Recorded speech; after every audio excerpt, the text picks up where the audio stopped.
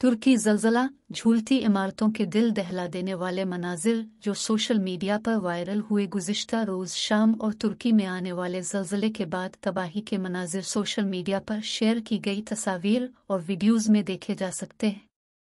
Any Shahidin इस बारे में बात भी कर रहे हैं और बता रहे हैं कि इस दौरान किया हुआ था, ताहम बीबीसी न्यूज़ ने उन मालूम की तस्दीक करने की कोशिश की है। जलजले के झटके सुबह चार बजकर सत्रह मिनट पर महसूस हुए और ये मरकज से कई सौ मील तक महसूस किए जाते रहे। शहरी बताते हैं कि कैसे वो नींद से जागे और भागकर अपनी गाड़ी में पना लेने पर मजबूर हुए।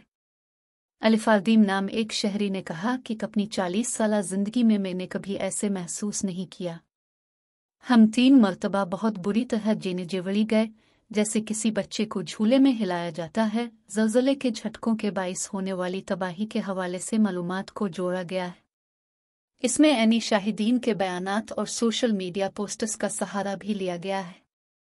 जनूबी तुर्की में एक तस्दीक शुदा ट्वीट में कैमरा अचानक एक तबाहशुदा इमारत की जानब घूमता है तरकश ने जलजले के बाद महफूज रहने वाले अफराद से बात की है और सबने ही कहा कि ये पहली मरतबा है कि उन्होंने इतना शदीद झटका महसूस किया। इसी तरह सैकड़ों इमारतें पाजारजेक में तबाह हुई हैं, जो मरकज के शुमाल में वाक़ है। वीडियो फुटेज में ट्विटर पर इलाके का फ़िज़ाई मनाजिर देखे जा सकते हैं। एक शहरी ने बीबीसी को बताया कि उनके रिश्तेदार अब भी मलबे तले दे हुए हैं। उजल सरवाल ने कहा कि मैंने बहुत मुश्किल से खुद को और अपने घर वालों को इमारत से निकाला। हम बाहर आ ही रहे थे कि हमें एक शख्स का हाथ नज़र आया जो मलबे के नीचे से मदद के लिए पुकार रहा था। इसको बचाने के लिए जाने वाले हमारे दोस्त पर इमारत गिर गई। हम बहुत बुरी सूरत हाल में हैं। ऐसी भी सामने आई हैं जिनमें जनूबी तुर्की में लोग दावा कर रहे हैं कि गैस पाइपलाइन तबाह होने की बाद वहाँ आग लग गई।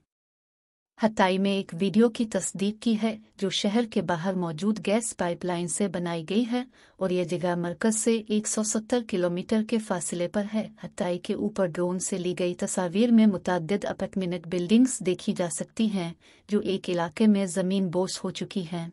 गाजी अनप के शहरी रसुल पी गिराम ने अपार्टमेंट बिल्डिंग से उम्र रसीदा हमसायों को निकालने के हवाले से इमदादी काम के बारे में बताया। इस वक्त वहाँ शदीद डांसेस है, जो इमदादी कामों में एक रुकावट है। वो बताते हैं कि हम सबने मिलकर काम किया।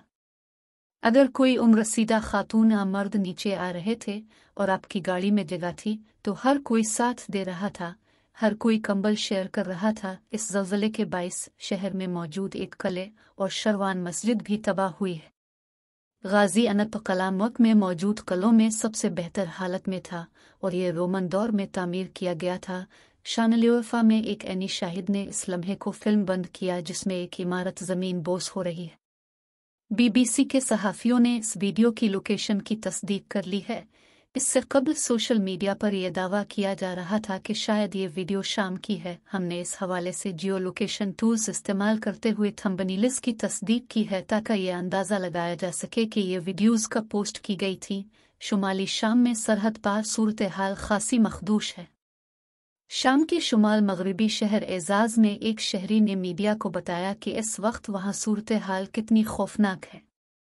इस वक्त यहाँ बारह खानदान फंसे हुए हैं और कोई भी बाहर निकलने में कामयाब नहीं हो सका। गलीपो शहर में खातून एक छोटे से बच्चे को उठाए हुए है और वो भाग रही है और इर्द गिर्द इमारतें गिर रही हैं। हारिम के करीब स्नावाब से गाँव में जलजले से पहले और बाद के मनाजिर में तबाही की वसत देखी जा सकती है।